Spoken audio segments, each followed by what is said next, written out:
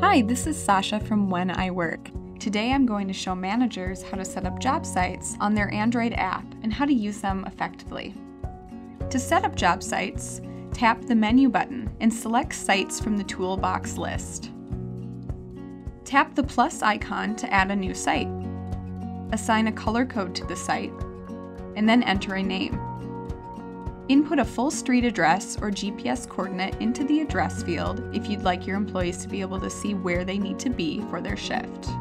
This is also important if your company is using the attendance feature for your employees to clock in. If you have set up multiple locations or schedules, you can tag a job site to all locations or a single location. When you tag a site to a location, you will only be able to schedule shifts for that site at the selected location or schedule. Then input any type of special notes in the description that your employees should know about this job site. Finally, tap the check mark to save. Once you set up your sites, you may tag those to shifts.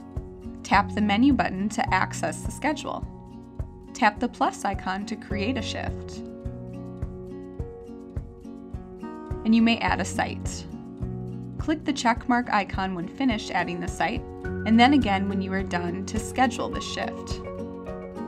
Job sites are assigned to shifts. Job sites help indicate a specific place, area, or even a client for your employees to work. This can come in handy for any business that sends employees to specific areas, perhaps a venue or client residence. Supervisors can only edit and delete job sites that are associated to the locations they are tagged to. Only the account holder and managers can edit all job sites across multiple locations. Deleting a job site cannot be undone. Job sites can really help your employees know when and where they are working when they're remote.